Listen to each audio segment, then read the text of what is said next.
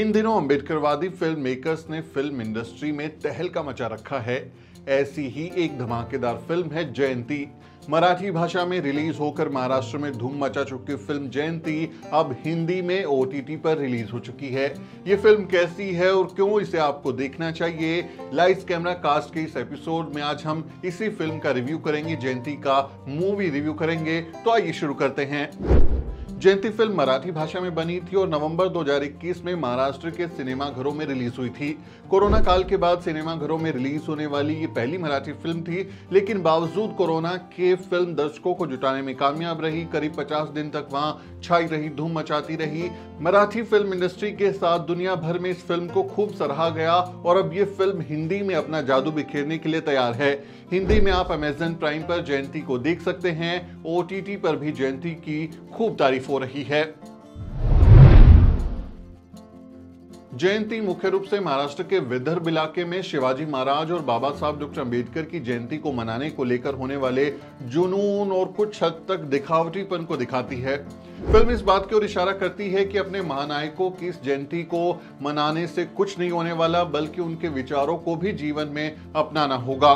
जयंती में इस बात को भी दिखाया गया है कि कैसे मनुवादियों ने महानायकों को भी उनकी जाति तक ही समेट दिया है। फ़िल्म में शिवाजी महाराज को मानने वाले मराठा ओबीसी और बाबा साहब को मानने वाले दलित किरदारों के ज़रिए आपसी खींचतान को भी बखूबी दिखाया गया है।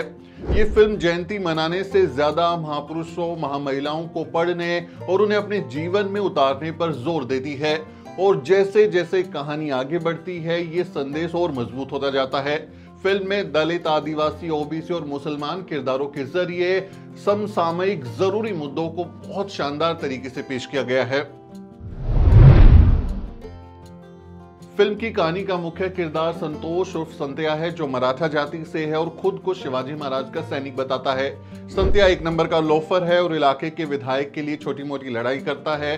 पान की दुकान पर बैठकर गप मारता है, लड़कियों को परेशान करता है। संत्या का किरदार ऋतुराज वानखेड़े ने निभाया है। संत्या के दिमाग में ये झूठ भर दिया गया है कि शिवाजी महाराज मुसलमानों के दुश्मन थे और हिंदू राज स्थापित करना चाहते थे।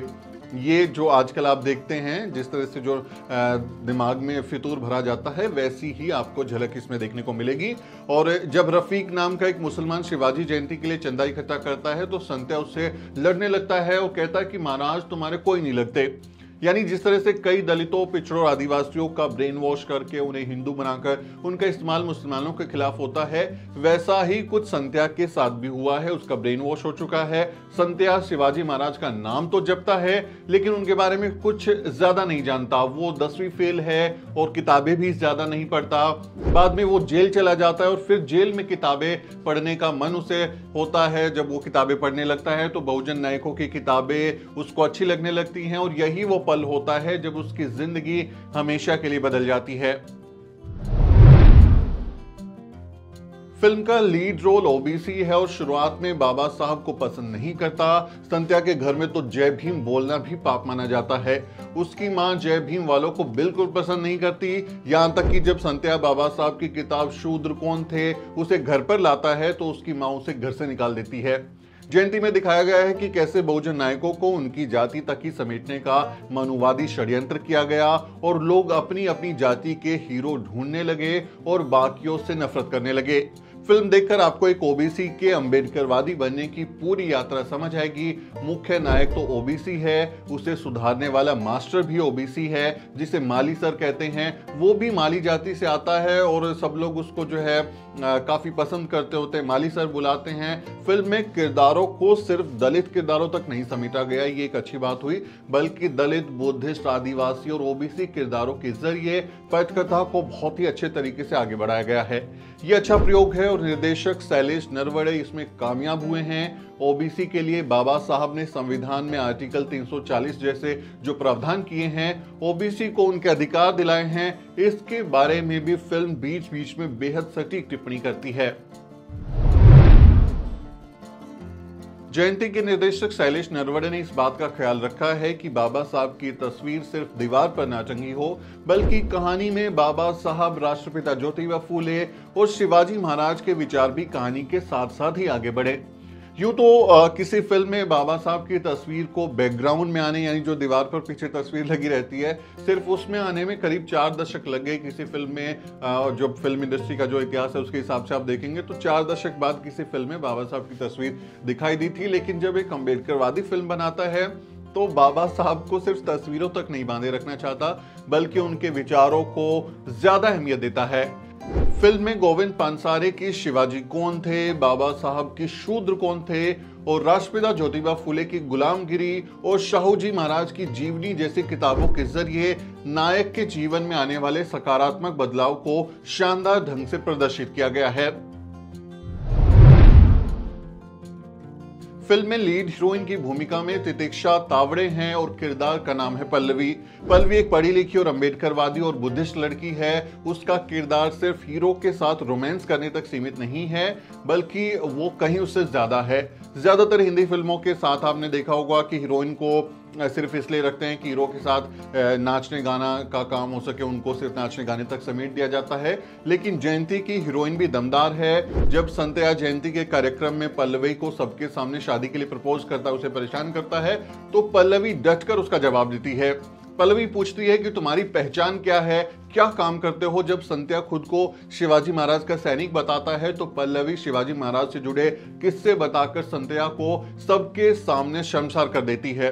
क्योंकि संत्या शिवाजी महाराज की सिर्फ़ पूजा करता है, उन्हें पढ़ता नहीं है। पल्लवी संत्या को दूसरों के इशारे पर चलने वाला गुलाम कहती है और ये बात संत्या को झकझोर कर रख देती है। पल्लवी और संत्या की लव स्टोरी में एक और दिलचस्प बात है और वो ये है कि फ़िल्म निर्माता ने इसे किसी सवर्ण लड़के और दलित लड़की या फिर दलित लड़के और सवर्ण लड़की के बीच का प्यार नहीं दिखाया है कि जिस तरह आप देखें कि सैरात या फेंड्री या जो दूसरी फ़िल्मों में आप देखते हैं कि दलित लड़का या जो लड़की है वो सवर्ण है या फिर वाइस वर्षा में जो किरदार होते हैं, उनके बीच में प्यार और फिर जातीय टकराव। ऐसा नहीं दिखाया गया है, बल्कि इसमें शानदार तरीके से एक ओबीसी लड़के को और बुद्धिस्ट अम्बेडकरवादी लड़की लड़की की प्यार की कहानी को दिखाया गया है, बल्कि मुझे लगता है कि पहली बार पर्दे में एक ओबीसी लड़का और दलित बुद्धिस्ट लड़की जो है वो रोमांस करते हुए दिखेंगे आपको पर्दे पर। ये इस फ़िल्म की एक दिलचस्प बात है।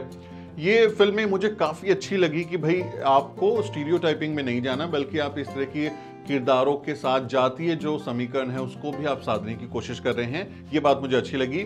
ये बात इस और भी इशारा करती है कि दलितों और पिछड़ों को भी आपस में रोटी बेटी का संबंध रखना चाहिए, एक दूसरे के साथ में आपको इस तरह के संबंध रखने चाहिए। Pallavi mission pay back to society में यकीन रखती है और अन्याय के खिलाफ लड़ाई लड़ती है। उनका किरदार काफ़ी असरदार है और उसको आप देखेंगे तो आपको समझ में आएगा कि वो हीरो के मुकाबले में वो भी अपने किरदार को बहुत दमदार तरीके से आगे बढ़ाती हैं। फ़िल्म में बहुजन महापुरुषों और महामहिलाओं की जयंती के नाम पर होने वाले दिखावे और फिजूल खर्ची पर भी सवालिया निशान लगाया गया है। फ़िल्म में इस बात पर ज़ोर दिया गया है कि बहुजनों के लिए ज़रूरी है कि वो अपने नायकों के बारे में पढ़ें और उनके विचारों पर चले, ना कि सिर्फ़ जयंती के सेलिब्रेशन में डीजे बजा कर नाचे, शराब पीकर हुड़दंग करें, ये सिर्फ़ शोबाजी करें। वो कहते हैं कि इससे आपको आगे बढ़ना होगा और जयंती में बार बार इस बात पर ज़ोर दिया गया है कि आपके जो महापुरुष हैं माँ महिलाएँ हैं, उनके विचारों पर चलिए और ये दिखावे से बचिए। सिर्फ़ जयंती मनाने से काम नहीं चलेगा, बल्कि आपको शिक्षा हासिल करनी होगी, अपने बच्चों को काबिल बनाना पड़ेगा, आपको अपने जो पीढ़ियाँ हैं, उनके भविष्य को संवारना पड़ेगा, अपने महापुरुषों के विचारों पर चलकर।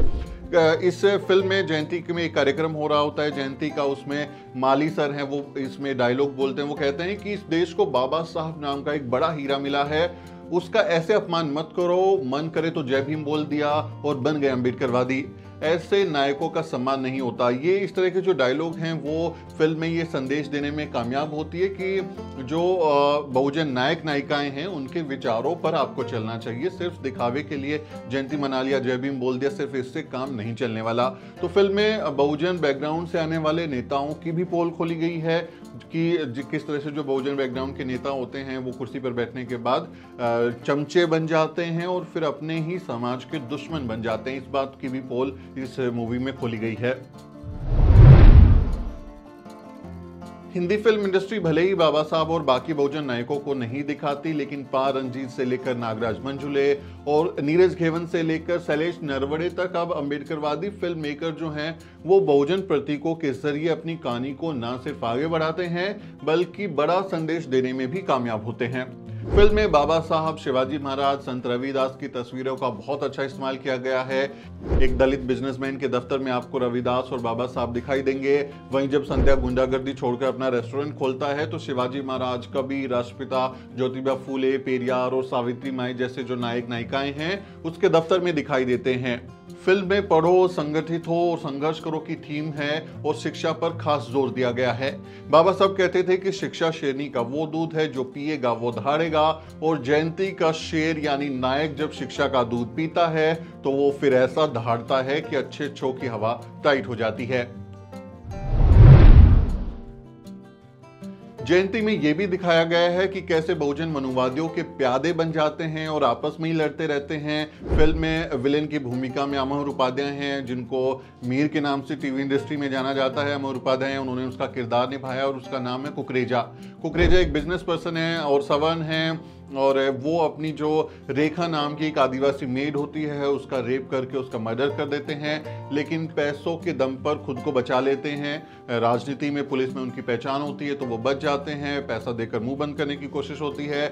और जब संत्या को पल्लवी झकझोरती है और वो उसके घर पर बदला लेने के लिए जाता है तो जो विधायक है करदम, उसके जो लोग हैं, वो संत्या को रोकने के लिए आ जाते हैं।